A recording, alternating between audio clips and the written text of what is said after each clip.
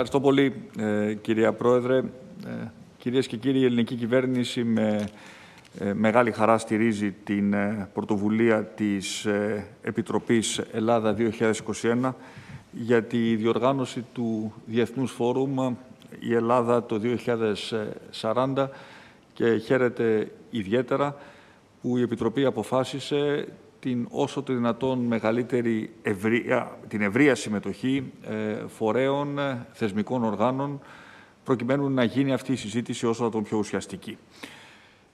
Υπάρχουν δύο τρόποι να αντιμετωπίσει κανείς αυτή την πρόκληση του να συζητήσει για το μέλλον σε 19-20 χρόνια από τώρα.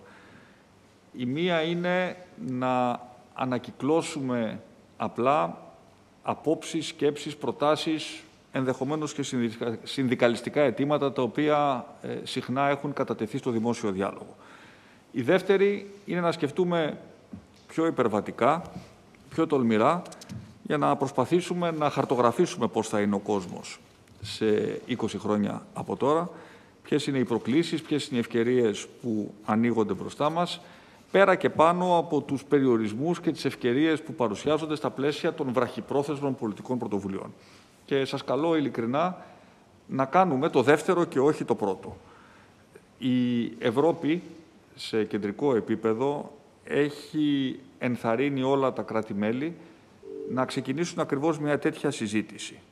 Και έχουν ε, δημιουργηθεί σε όλες τις χώρες, συμπεριλαμβανομένες και της Ελλάδος, επιτροπές λέγονται foresight, ε, οι οποίες έχουν ε, σκοπό ακριβώς να διαγνώσουν τις ε, μελλοντικές, τεχνολογικές, κοινωνικο-οικονομικές, περιβαλλοντικές, πολιτικές εξελίξεις, όχι με ορίζοντα το αύριο, τα επόμενα δύο, τρία, πέντε χρόνια, αλλά πολύ πιο μακροπρόθεσμα. Μια αντίστοιχη τέτοια επιτροπή έχει φτιαχτεί και στην ε, χώρα μας ε, υπό την εποπτεία του Υπουργού Επικρατείας του κ. Γεραπετρίτη και με στονιστή τον Γιάννη Τομαστογεωργίου, ο οποίος είναι και ο Γενικός Γραμματέας Επικοινωνίας.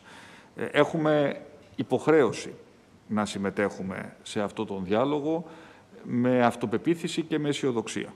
Και επειδή οι εορτασμοί για τα 200 χρόνια δεν αποτελούν απλά μια ευκαιρία να αναπολύσουμε το ένδοξο παρελθόν μας και να αξιολογήσουμε συνολικά την ιστορική μας διαδρομή, αλλά έχουμε και την υποχρέωση να προδιαγράψουμε το μέλλον μας και το μέλλον μας, όπως σας είπα, πρέπει να το δούμε μακροπρόθεσμα και όχι μόνο βραχυπρόθεσμα. Γι' αυτό και θεωρώ ότι αυτή ε, η προσπάθεια της Επιτροπής έχει το ε, ξεχωριστό ε, δικό της ενδιαφέρον και αγαπητή κυρία Πρόεδρε, η ελληνική κυβέρνηση θα την στηρίξει και θα συμμετέχει ε, ουσιαστικά.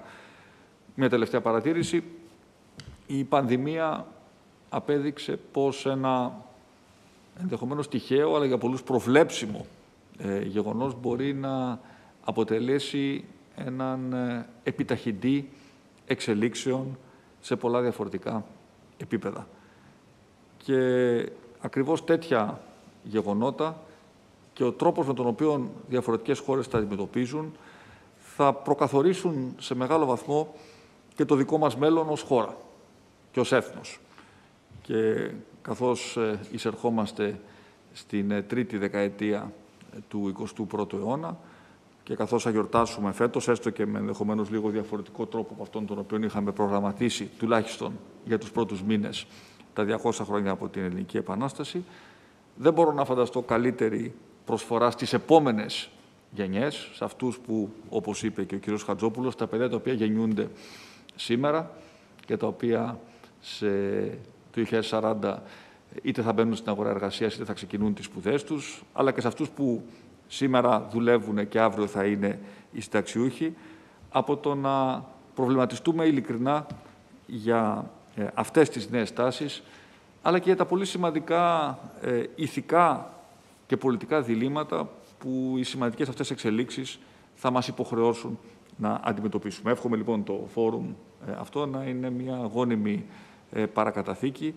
για έναν ουσιαστικό διάλογο που, το τονίζω, ας κάνουμε όλη μια προσπάθεια να ξεφύγουμε από τα κλισέ και από τα στερεότυπα και να προσπαθήσουμε να κοιτάξουμε με αισιοδοξία πολύ πιο μακριά από εκεί που ενδεχομένως φτάνει το βλέμμα μας στην ε, καθημερινότητά μας. Οπότε και πάλι συγχαρητήρια κυρία Πρόεδρε και με πολύ ενδιαφέρον θα συμμετέχουμε και εμείς ως ελληνική κυβέρνηση στο φόρουμ.